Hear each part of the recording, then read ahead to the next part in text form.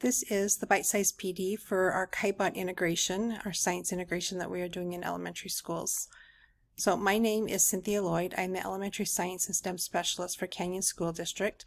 I work very closely with Chandra Martz, um, who is our, one of our digital teaching and learning specialists. Um, we've collaborated on this project in order to have the integration um, be in all of our elementary classrooms.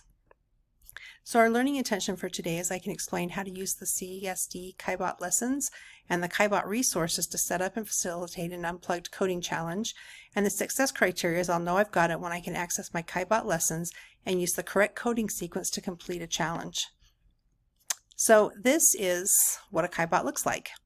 Um, it is the first hybrid robot, which means that it can be unplugged or it can be used with Conundrum Lite or Conundrum. It is um, there's a vertical alignment piece that can be used from kindergarten all the way up to 12th grade. We will touch on just a few of its capabilities in our um, elementary grades. Our Brain Booster teachers will be using this in Brain Boosters twice a year, and all of our K through 2 classrooms will be using it in their classroom as well. So some of the features, if you look at this image, um, you'll see the little yellow power strip switch that's on top. Um, it is the back of the robot. So when you set it down um, to be able to run its code and to move, just know that that is the very back part and it should be facing um, the person who's setting it down. So KaiBot also has a front speaker. The words and images will be right side up when students look at them or when you look at it as a teacher. On the back, on the underside, there is some wheels and there's also the charging dock pads, which we'll talk about later. They're those little yellow metal pieces that you see down here in the corner. Um, and then there is a downward facing camera that is used to sense um, what's happening on the different cards. So this is our KaiBot rotation schedule for 24-25 um, this school year. If you're looking at this in future years, um, you can always find this rotation schedule in your instructional guides. So if you'll notice this year, we are starting with second grade. Um, will check out the kit from their media center. After they're done with the kit, they will take it back to the Mazes media center and the first grade teachers will be checking it out and then it'll go to kindergarten down to STEM brain boosters and then the um, rotation will complete two times after that. Our kindergarten class will use these KaiBots during their end of year project, um, which is a integrated social studies, science, and computer science um, unit that we will introduce to you later.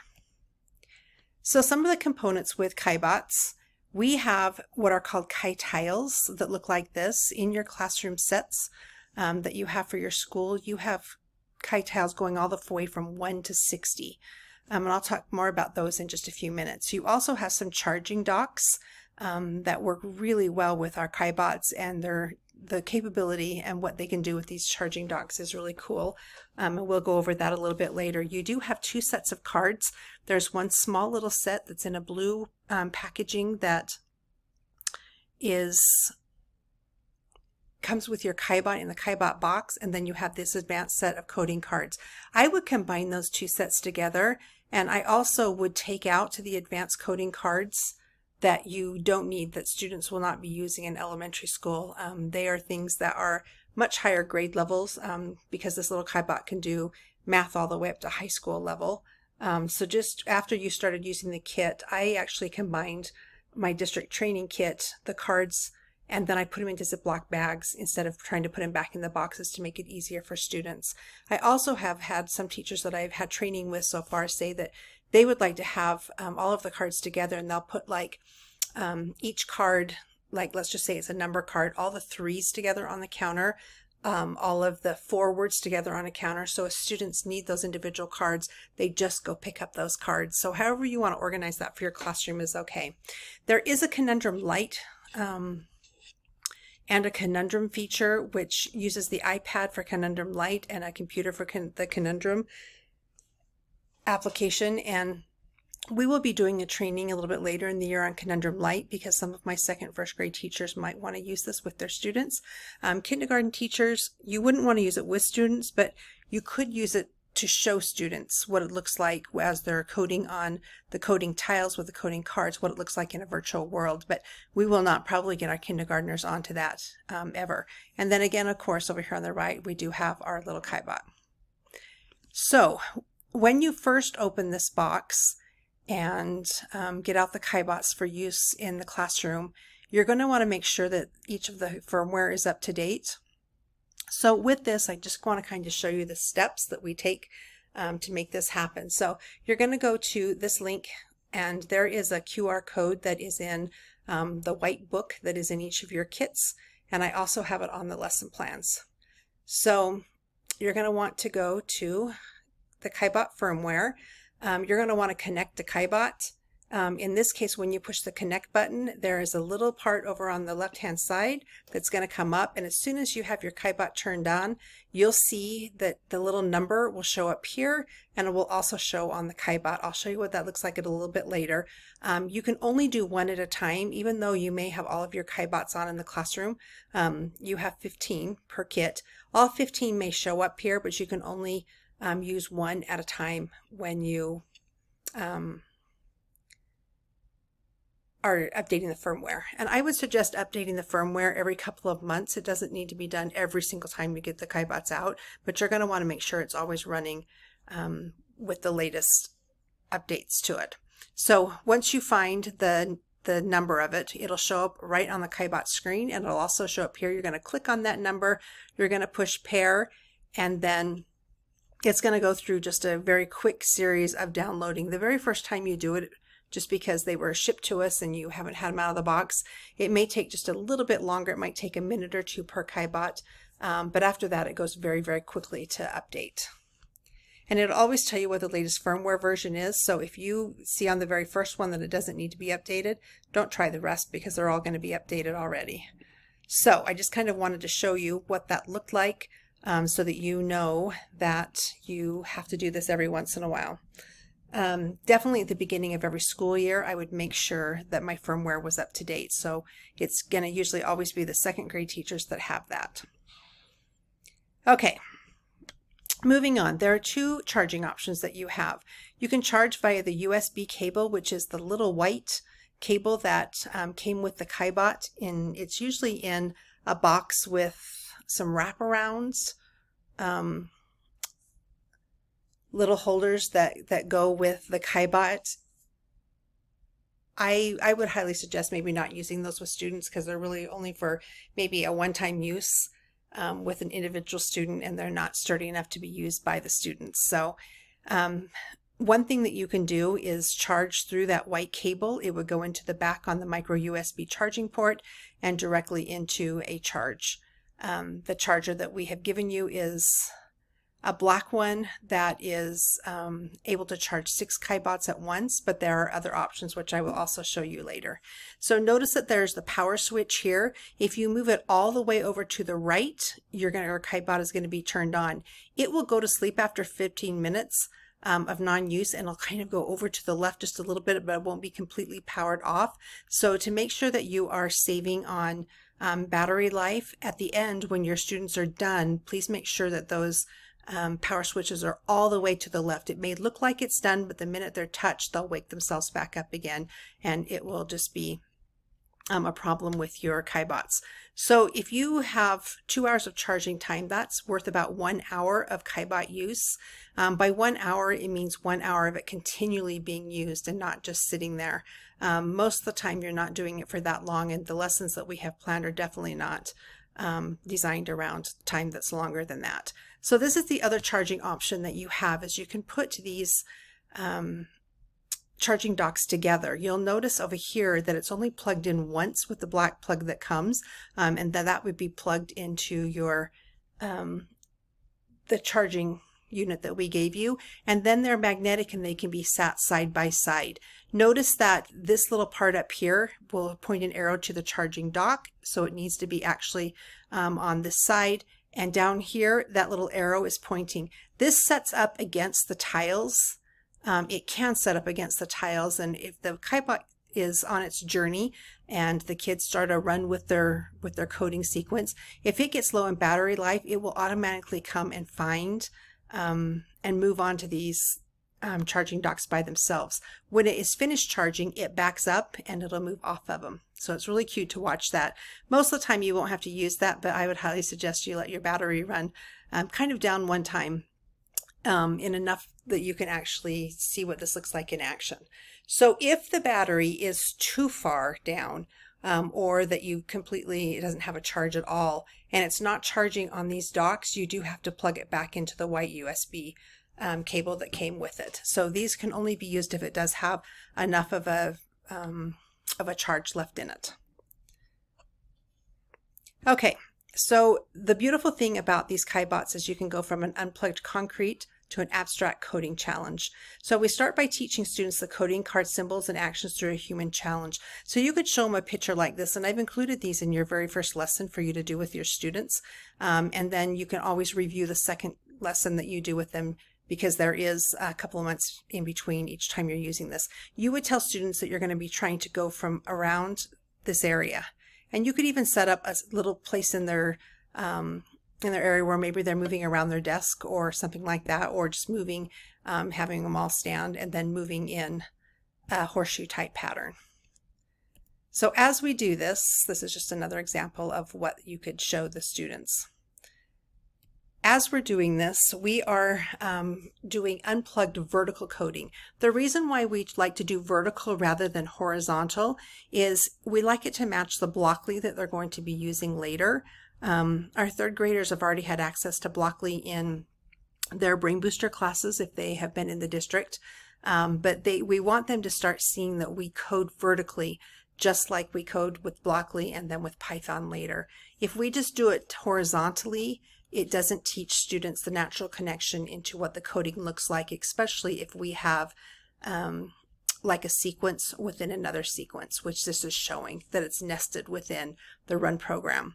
So with this, when we, we always start with the record program card, um, you'll notice that this opens up our bracket. That bracket is synonymous with the run program over here. All of the coding will be within this bracket. So we start it here and notice that we're going to have to finish it and we'll talk about that in just a moment too. Okay, so after we have that one card, in order to move forward, you're going to have to place the forward card. Notice there's a little asterisk here. Um, this is going to tell you that you need to move forward. If you don't have this green card here at the time, um, it will move forward one space just by using this card. Once you use a number card though, and the number cards, the green cards can only be used with cards that have that green asterisk. Once you use that, the KaiBot knows that they're not just moving one space, but now they're moving two spaces. So that would be two strides forward. That looks like two entire KaiBot tiles forward.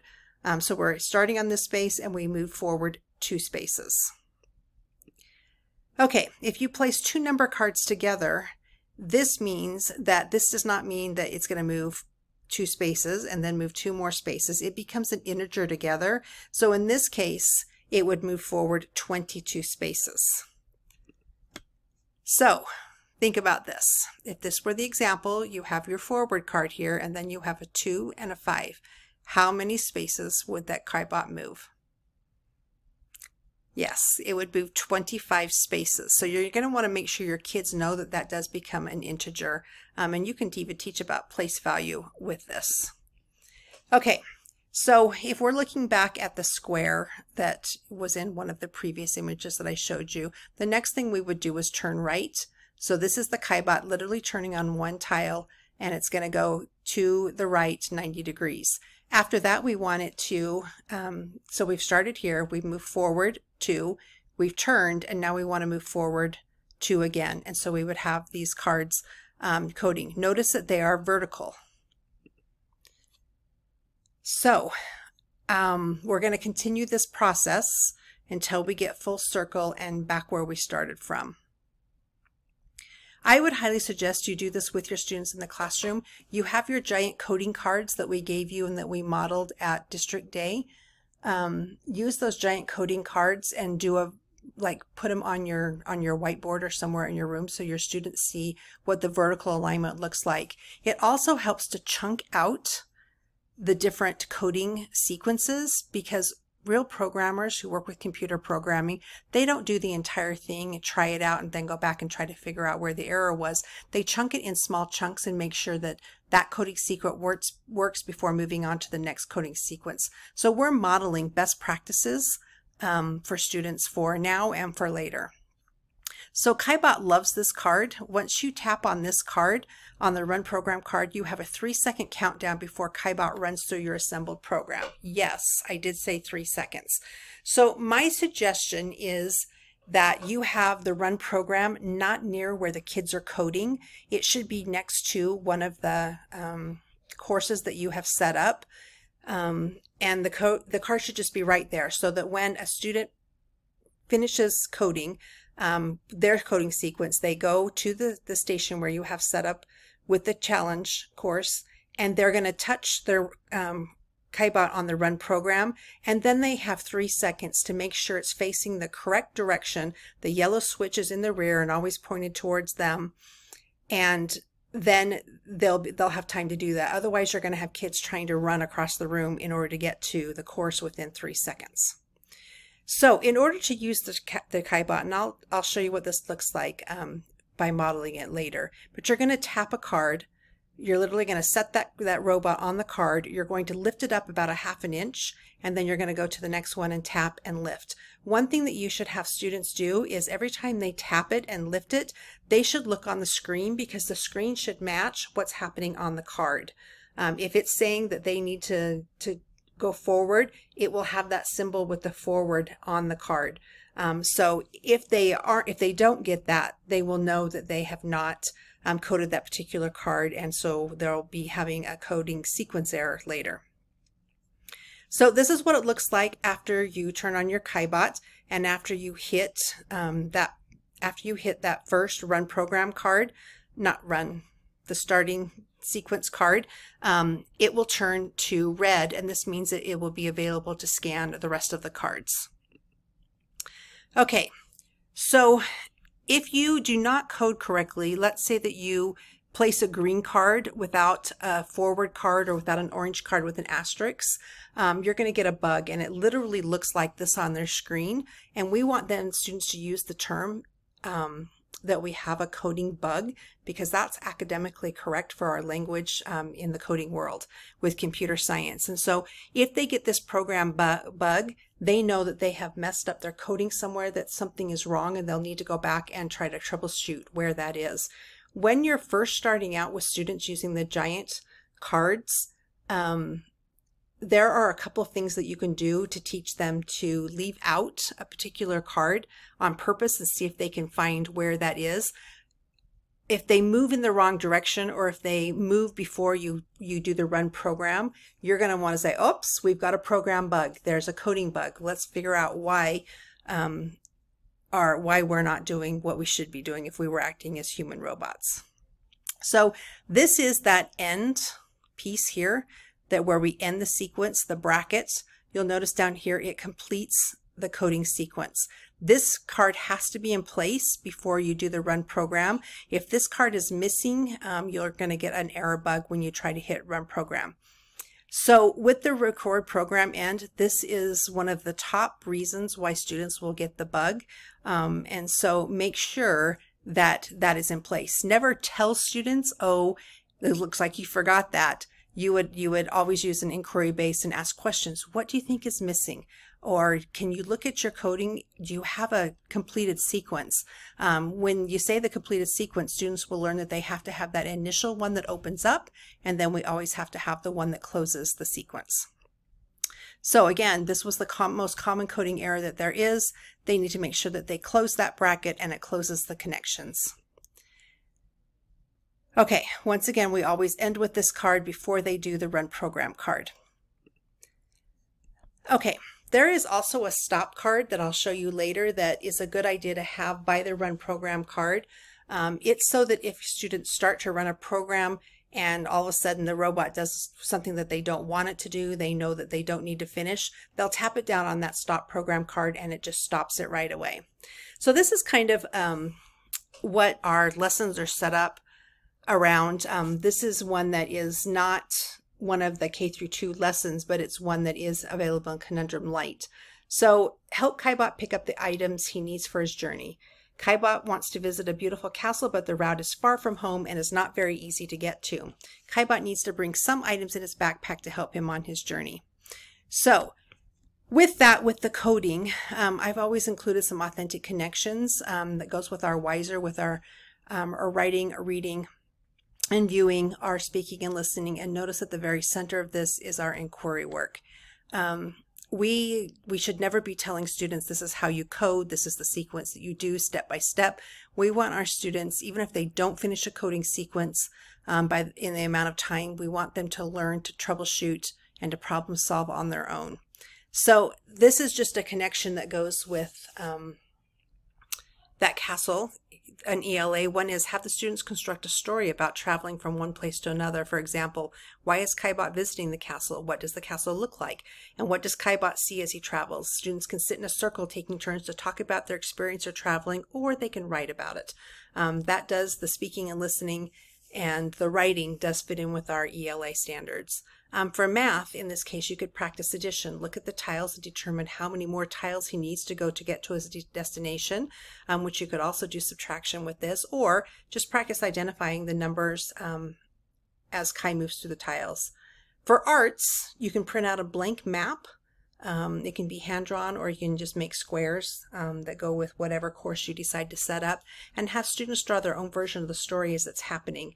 Um, this can also go along with their speaking and listening so they can present um, with the ELA one about what does the Kaibot see as he travels as they're showing um, the images that they have drawn on their map.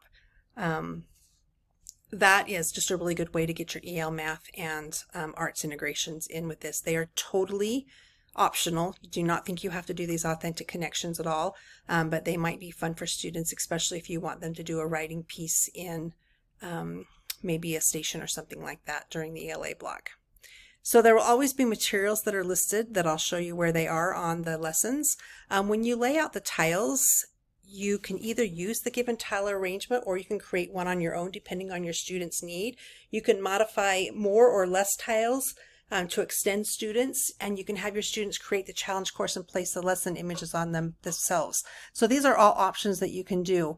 I want you to know that you can do um, even have two stations set up with the course. Um, even though you have the tiles 1 through 60, let's say you're using 10 tiles for your course, you can do 1 through 10, and the next one could be 11 through 20, um, and or through 21. And that will, when when the Kaibot sees 11 as a starting in its mind, in his mind, um, he's thinking that it is tile 1 um, for your students. So if you want students to practice different math skills, or if you just want two courses set up, um, maybe you want sh a shorter one for students who might be struggling with this, that might need a little extra support, that you only use five tiles. And then maybe for the second one, you start at eight and maybe you use 15 tiles with it to extend students. So just know that you have the ability to adjust the tiles as, as fit. And this would just be what it looks like vertically um, done for students for this particular one. So I just wanted to let you see what it's going to look like when they use their coding mats for this. Okay, I'm going to show you a second grade example. There are task cards for most of your um, learning tasks that the students will be doing, most of their challenges. Um, and these are images that you will use placed around the mat. And I'm just going to kind of show you what this looks like in our instructional guides. Hmm. Hang on, let me see if I can get us there. for some reason. Our district was not wanting to have me go to there. Okay, so this is where you should have bookmarked already with your instructional guides. I am going to show you a second grade lesson. Um, the kindergarten and first grade lessons are set up just like this, but I want you to see where you're going to find them. You're going to go to science.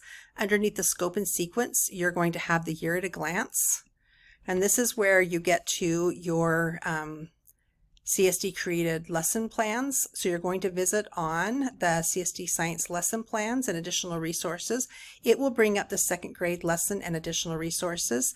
If you scroll down, you will find the Kaibot integration lessons here. And if you scroll down even further, um, you'll find the lesson here along with some teacher training videos. that will be put in after I make, your first one is going to be this um, bite-sized PD, but there are also some others in there that will make your life a lot easier um, if you look at them. So you're going to click on, for the very first one, the KaiBot integration lesson. It is going to bring up your lesson plan. Um, the approximate time needed is two days, 45 minutes each day. Um, so it should take both of your days that week. We have taken out um, keyboarding from your science block time. And so we have bought us six weeks that we did not have before. And so right now you're supposed to be starting science at the beginning of the year. Um, and you'll have plenty of time to fit these two days into your instruction um, if you follow the suggested pacing. So you're going to have your science standards here that go along with our SEEd standards. I've always included our Utah computer science standards so you can kind of see what students will be learning about and how we're integrating that with science. There's always the materials that are here. Um, I made a video with each of the lessons to kind of just show you what it looks like um, and just a basic coding video just in case you um, can't remember from time to time. So it's always good to review that. So um, underneath that, we also have a, link to the giant coding cards. Um, you do have them in your packet, but if you did want to print and laminate more, you know you have a link here for that. Um, there are also links to extra task cards, the animal habitat cards, and the special features cards that are used for this particular lesson. So if you find that your cards um, that we have created for you are getting kind of mingled um, over the years, you're welcome to print out more and get them laminated. So I always start out also with the learning and the success criteria that we've added, and then there's an overview and setup. Um, a reminder to use the latest firmware. Um, it's right there as a link for you. In this case, it's best to assign groups of two students per KaiBot.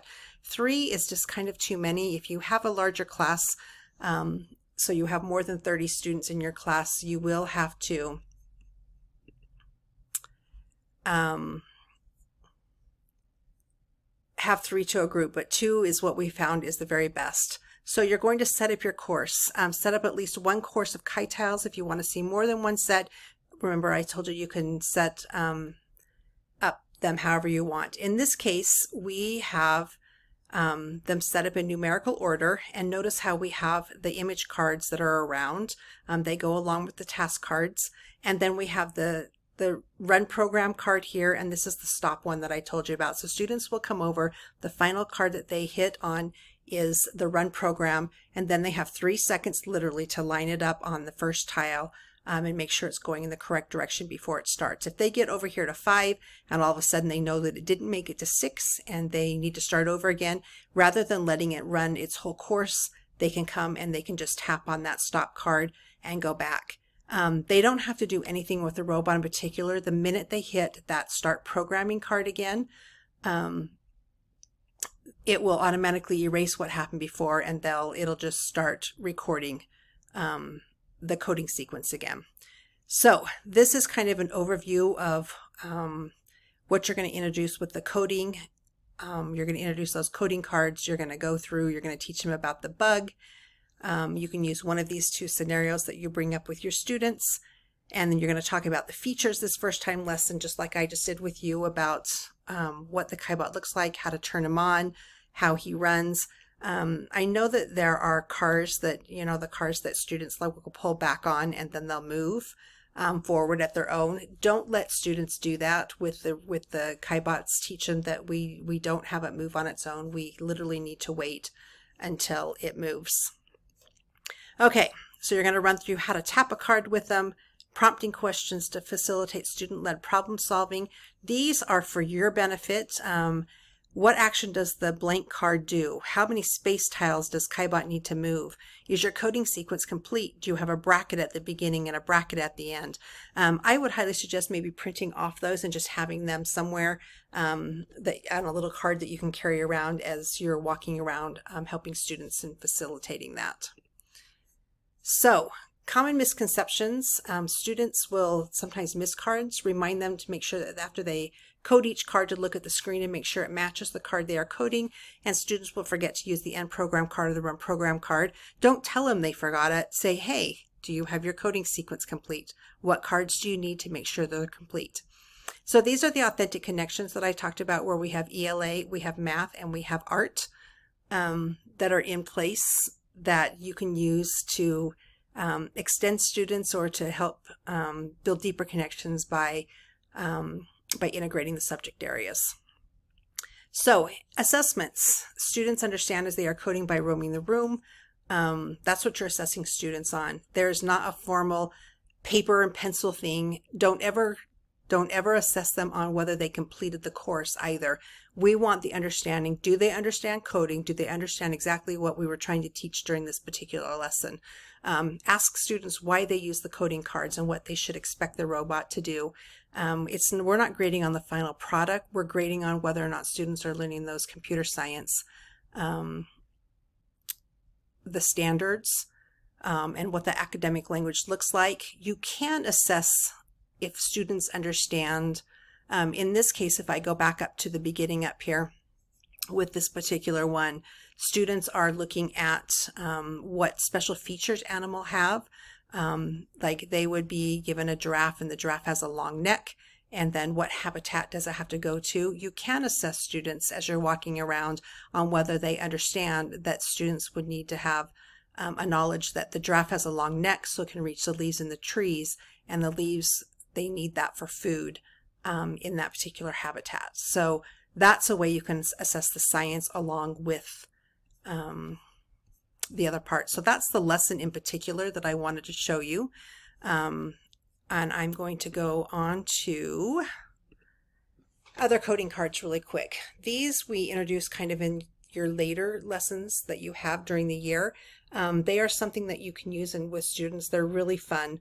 Um, I have a little kindergartner that is um, my granddaughter, and she loves these cards. She thought that they were just the greatest.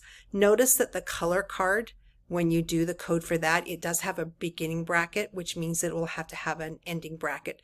This is where you make a coding sequence within a coding sequence.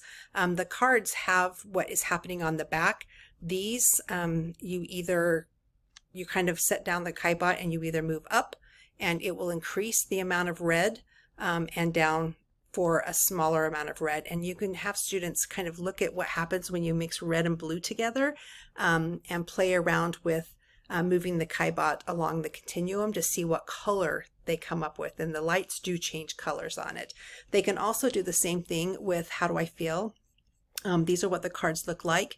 The surprised one is my favorite. You'll want to maybe play around with that with students and see what that has to do. You can put these anywhere within the program. Um, they do not require, notice they don't have the bracket on it, they do not require the outside and the inside cards to be able to do that.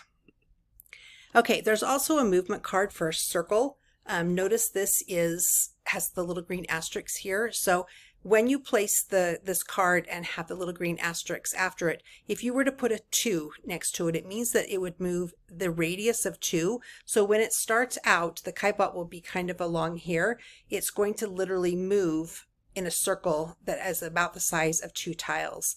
If you do 22, it's going to move in a huge circle that has the radius so this part right here will be the number of tiles. So it's kind of a fun card for students to be able to also do um, when they're running their course. So um, there is a video here, Conundrum Light. I am not going to show you that right now, but I wanted you to have the link so that you could go on and see this. Um, so if you get into the slides that go with this, it is kind of the version of what it looks like um, when it is in a virtual world. Again, I just wanted to get your feet wet with Conundrum Light because we will be giving um, PD later on this in the year, professional learning, so that you could use this with your students um, when and if you're ready this year. I am going to show you now um, what it looks like with the actual KaiBot and tiles and what it would look like to run through um, a lesson and to kind of help students with that. Okay, so this is the Kindergarten Living Things Lesson 2 um, that I'm going to be kind of demoing here. Um, I set up my own course. I want you to know that the Kai tiles, they do work with the magnet tiles um, and it just kind of makes the course more interesting. So in this case, there are three task cards and the task is to help your KaiBot find how this animal changes its environment. We have a squirrel, a beaver, and um, a bee. You would give these to your students. This is where you can start to differentiate a little bit because if you wanted your students who maybe are just starting out coding and maybe need an easier course, you're going to give them the bee. And so I would make sure that the object that they're going to is a little bit closer. It can be put on a magnetile like this and taped to it, or it can be, if you don't have magnetiles, it literally can just be placed to the side, either one. So I'm just going to put these three around. And you would want to tape them in place. I'll just put this at the end of the thing over here. Okay, so students are going to be working in groups of two. Um, the thing about having different task cards is that all the students might take a different course or they'll have a different way of coding, which is okay. The very first unit, we're going to start out really easy. I'm just doing basic coding, especially with our little kinders. Um, after you have done the giant cards with them already in class, this is where you're going to start using your KaiBot with them. So I did want you to show you the charging dock that's over here. I told you that you could easily um, put these together and you can line up quite a few of them. I had nine lined up at one time um, and was charging from them. It goes into this little um, Anker brand that we bought. Um, and then you can only have one cord coming with all of them lined up. Or you can also, if the KaiBot gets too low or if you need more um, space, they do go into here. And this part hooks into the KaiBot um, right here. So it would be hooked in this way to charge also. So the beautiful thing about these docks is that they literally can hook onto um, the magnetic tile. And if your KaiBot is going along and it is out of juice and it needs gas, um, that's the way my granddaughter described it, um, if it needs to charge, it will automatically, if you start the program, it'll automatically find its way over to the charging dock and go directly up into it. So remember when we are looking at our um, robot, the yellow on the back is the back part and the front part has the speakers in it. So in order to turn it on, you have to go all the way to the right and it needs to be pushed all the way over. There's like a little mini thing that'll go back to after 15 minutes. It automatically um, puts itself into sleep mode. But just know that when you're done with them, they need to go all the way back to the left. Otherwise, you're going to hear them chirping in your classroom. So you'll see that it's loading up. And I just want to show you what it looks like when it gets on the little tile. This one, I think, oh, no, it is going to go up to the charging. It just puts itself right on there. As soon as it's done and gets a charge, it will scoot itself right back out and be ready to go again. Um, most likely, your students are going to have to use that a lot, though, because they will have, um, you'll have a charge for them. But it's cool to show it every once in a while um, so that a student knows the capabilities there. So once we have our um, where we're going, we're now going to start looking at how to actually code using the coding cards.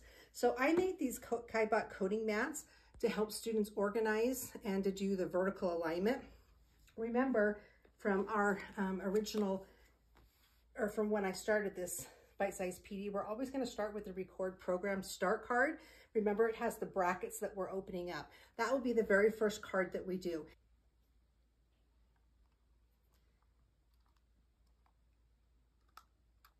Okay, so over on the course, we would we, the kids would start it on number one. And remember I told you that the yellow is the back part. It's gonna always have to be facing them.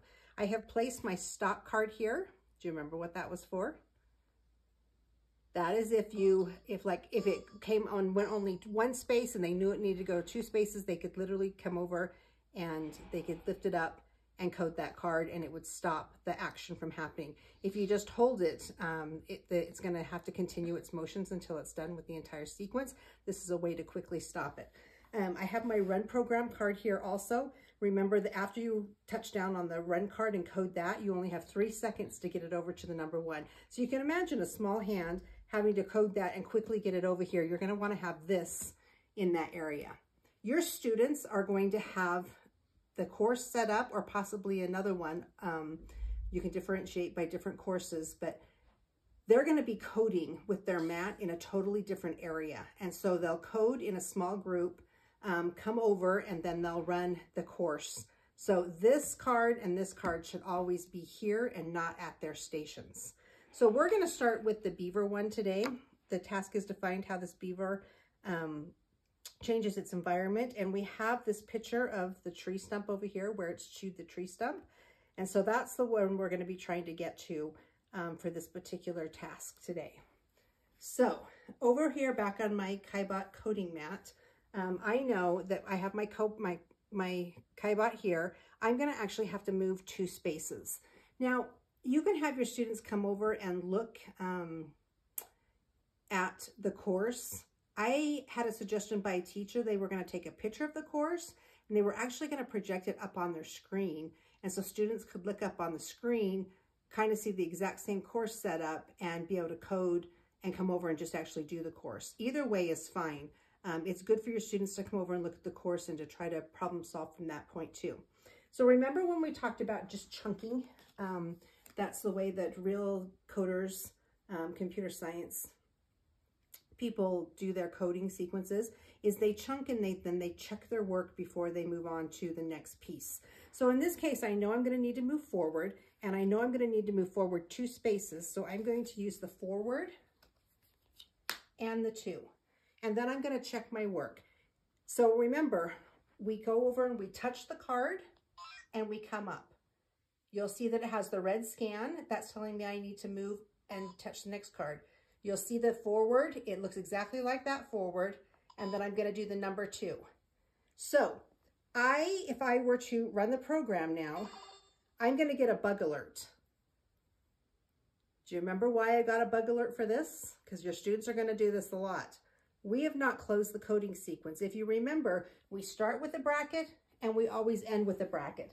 So in this case, I need to have my run in program put in place. So I'm going to go back and remember I don't have to do any sort of clearing. It automatically clears itself the minute I push the start.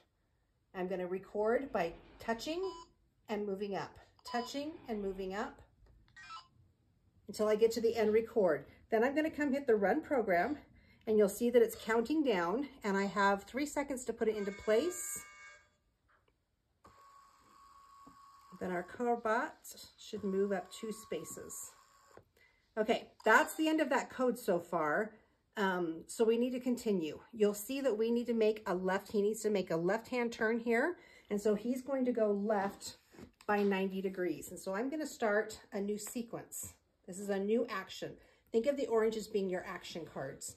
Um, this is going to be the very next one. And remember I said if you just have the action card in place, it is it will move only one. If I put a number, it changes that to the value that is the number card. But I only need to move one space, so I'm going to put one there. If your students put a one here, it's okay, but they may run out of ones.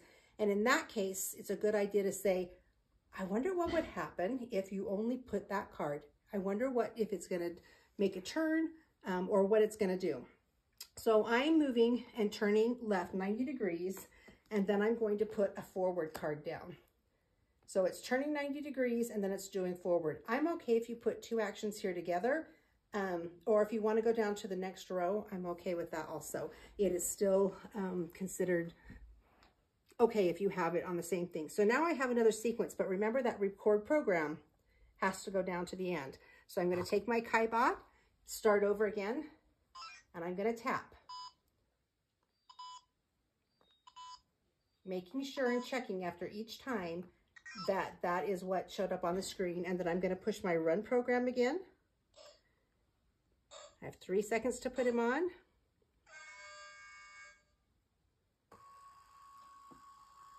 And he's going to run his course. You can use the KaiBot without the tiles themselves. You can set up like a little course in your room um, maybe a fun little obstacle course or something that students can do. But just know that it won't be exact. He might maneuver off to the side and um, slightly sway to the side. These tiles keep him exactly centered. So if he, for some reason, were to kind of get off center, he'll maneuver himself to the center um, before he'll move on to the next tile. And he has exact perfect 90 degree turns when he's on the tiles. But they can be used um, just like with the masking tape course, which is kind of fun to have your um, kids design a course if you have time in the year. So I'm not going to do this whole sequence. If your students run out of room on their um, KaiBot coding mat, they can take another mat and just kind of put it underneath to be able to continue their coding. So we included mats in there, or some students, once they have followed this pattern, they can just continue the pattern down here after the mat. So it's up to you how you want to show this with students. It's also up to you how big you want the course. If you want your kids just to do a small little course to begin with, um, the very first time you use these, make the course shorter. If you need an extension, make it longer. If you have both um, levels in your class, have a short course and a long course, and just assign those groups to the different course to be able to um, differentiate between them. But that's kind of how you use the KaiBots. Um, there are other things you're going to be teaching students. Kindergarten, this is pretty much all you're going to be doing, but first and second grade, you're going to learn how to code within a code, which is kind of cool. I do want to show you a couple of those specialty cards. Um, I'm going to get my bag out here. Remember I told you I put all of my cards from the small deck and the big deck into one, um, just to make it easier. These are the cards that are the feeling cards that I told you about. So they can be put in at any code. So let's say I wanted to put it there. When I got to that card, you literally, in order to get angry, you're going to hit and then you're going to go forward. Or if you want crying, you're going to hit and go backwards. Um, it just works out really nice there. That's one of the cards that I would, after time, show my students. Um, also, the color mixing cards, they are really cool. There is blue, um, green, and red that they can mix together. And this, remember, is a bracket within a bracket. So it's going to start with the color start. And then if I want to mix green and red together, I'm going to have to end that here and then put the record program at the end of that. Um, but that's how you would kind of show that within there. And then the other card that I told you guys about earlier was the one that does a circle. Let me see if I can find the circle.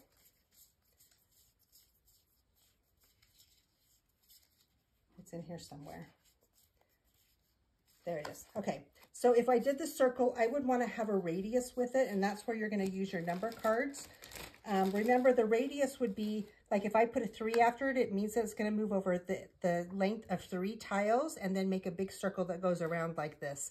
That's why it would be really fun if you had like all 60 tiles down and they were together like this and you just had them blocked off by the mag tiles where it would be able to make the full 360 on um, the tiles, or you can just do it on a floor. They do work on the carpet, um, but they're not as exact. And obviously, if you hit like a, a really funky place on the carpet, um, it's going to kind of veer off in a different direction. Um, but you can use it on that. Better would be if you found like a hardwood floor to be able to use it, um, like a gym floor or something like that. Um, or use the Kai tiles for the exact. And that's basically how we code our robots. Um, hopefully your students will have fun with it and hopefully you will also. Um, they are, they're kind of addicting. So good luck. And if you need help, um, please reach out. Thank you. Well, I just want to say thanks for coming um, to this Bite Size PD. You can have relationship credit. Um, as always with these, this is how you submit for relationship credit here. Um, if you need any more support, please contact myself um, and Chandra or Chandra, either one, um, to come in and help you so that you are feeling comfortable with using these KaiBots. We don't want you to suffer in silence. They're fun, they're easy, um, but they are a great resource to teach those computer science skills integrated with our science curriculum.